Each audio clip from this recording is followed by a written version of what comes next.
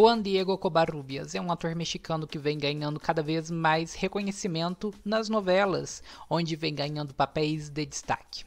O galã já atuou em novelas como De Que Te Quiero Te Quiero entre 2013 e 2014, onde viveu os gêmeos Diego e Rodrigo. La Vecina em 2015, onde interpretou Antônio. Em 2021, esteve no elenco de Vencer o Desamor, onde interpretou o antagonista Eduardo. Você é fã dele? Assiste aos seus trabalhos? Então esse vídeo é o lugar certo. Fique por aqui e já faça sua inscrição no canal porque agora vamos ver mais de Juan Diego, curiosidades e fatos sobre a sua vida pessoal e carreira. Ah, não se esqueça de me seguir lá no Insta, viu?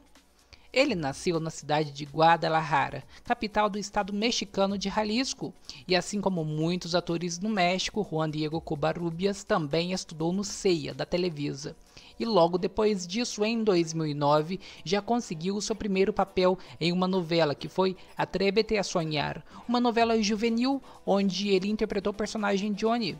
Já em 2010 integrou o elenco de Teresa, protagonizada por Angelique Boyer, e lá ele viveu Júlio. Em 2013, ao lado da cubana Lívia Brito, Juan Diego ganha seu primeiro protagonista em De Que Te Quiero Te Quiero. Nessa trama, além de interpretar o mocinho Diego, ele também interpretou o vilão Rodrigo. Eram irmãos gêmeos. Por causa desse trabalho, ele venceu o prêmio TV e Novelas na categoria de Melhor Ator Protagonista de 2014. Durante a produção da novela De Que Te Quiero Te Quiero, surgiram na mídia muitos boatos de um envolvimento amoroso do ator com a sua colega de cena Lívia Brito. Isso gerou muito bafafá na época, já que Lívia Brito estava comprometida com o cantor de salsa Danny Frank mas esse suposto romance nunca chegou a ser confirmado. Na sua vida amorosa, Juan Diego Covarrubias se casou em 27 de julho de 2021 com a modelo Renata Aro. Foi um casamento realizado no civil, mas que deixou o casal bem feliz e radiante. Antes de se casarem, já havia nascido Renata, a primeira filha do casal que veio ao mundo alguns meses antes, e então eles aproveitaram esse mesmo dia para batizar a pequena Renata. Em junho de 2022, o galã anunciou a segunda gestação de sua esposa, Renata. Falando em filhos, a gestação parece que sempre foi uma questão muito importante para Juan Diego Covarrubias. Isso porque ele bem antes disso já demonstrava uma vontade enorme de ser pai, algo que chegou a trazer até algumas frustrações para o ator. Antes mesmo de se casar com Renata, Juan Diego já havia estado casado com Edna Monroy. E dentro dessa relação, ele já queria formar uma família com Edna. Porém, segundo um amigo próximo do casal, essas tentativas iam sempre em vão. Desde que se casaram, eles tentavam ter filhos.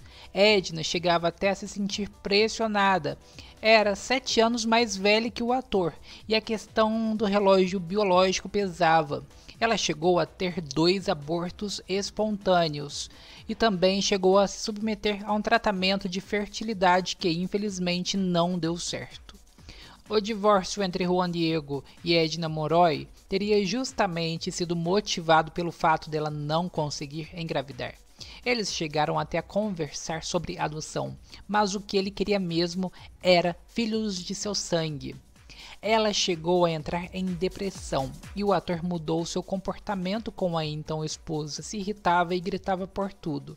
Segundo esse mesmo amigo do casal, foi Edna que propôs para que Juan Diego Covarrubias procurasse outra mulher para realizar seu sonho e mesmo resistindo um pouco no começo, foi isso que ele acabou fazendo.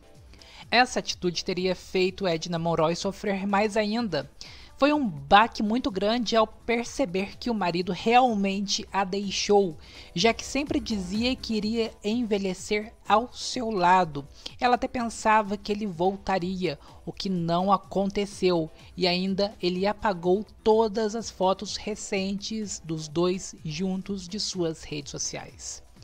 Já em sua versão, o ator afirmou em uma entrevista que jamais falaria na mídia o motivo pelo qual ele se divorciou e garantiu que a ex e sua família sabem o motivo, afirmando que não foi pela questão de que Edna Moroy não podia lhe dar um filho e garantiu que foi ele que pediu o divórcio, divórcio esse que ele chegou a pedir três vezes.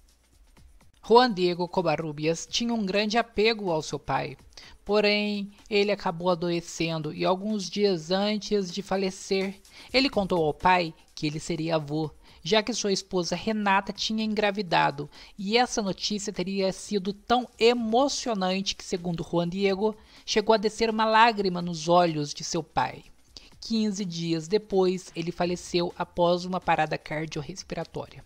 Mesmo fazendo novelas com papéis protagônicos, Juan Diego Covarrubias já deixou bem claro que não se considera bem um galã e que não tem nem o hábito de se cuidar. O ator afirmou que nem sequer frequenta a academia e não faz dietas e disse que seu corpo é de um cara normal, algo que não é muito comum na TV, segundo ele. Além disso, ele contou que é muito elogiado por isso, porque ele acaba sendo visto como uma pessoa real, como qualquer outro, e que as pessoas reparam que ele não é do tipo malhado, e isso é algo que acaba o motivando. Mas ele também deixou claro que se um papel exigir um físico bem fitness, ele não se recusará a fazer. Mesmo não indo à academia, ele tem seus esportes favoritos, já que Juan Diego ama andar de moto, de bicicleta e até de fazer caminhadas. Para Juan, ficar trancado em uma academia o deixa afogado, e o que ele curte mesmo são as atividades ao ar livre. Você que é fã de Juan Diego Covarrubias, de suas novelas, tem algum trabalho dele preferido? Algum papel dele que mais te marcou? Se tiver, me conte então abaixo nos comentários e já compartilhe o meu vídeo com os seus amigos. Continue aqui comigo e assista mais vídeos do canal. Temos muito mais do mundo mexicano para você bem aqui. Beijinhos, meus amores, e até mais.